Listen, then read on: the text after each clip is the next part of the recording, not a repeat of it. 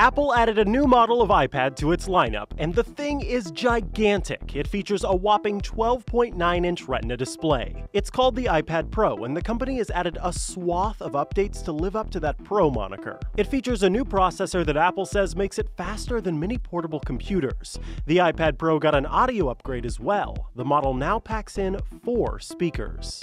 Apple stuck to its standard 10 hour battery life and an 8 megapixel camera, no surprises there. But there were a few surprises. The company revealed two new accessories for the iPad Pro a stylus called the Apple Pencil and a keyboard cover called the Smart Keyboard. Apple Pencil will give iPad Pro users detailed, high resolution control when drawing, swiping, tapping, etc. As for the keyboard, well, it makes typing a little bit easier than tapping away on glass. But we've gotta say, the thing looks sort of familiar iPad Pro comes in Apple's standard gold, space gray, and silver colors. Prices start at 799 for the 32GB version and go up from there. You can snag an iPad Pro of your own in November.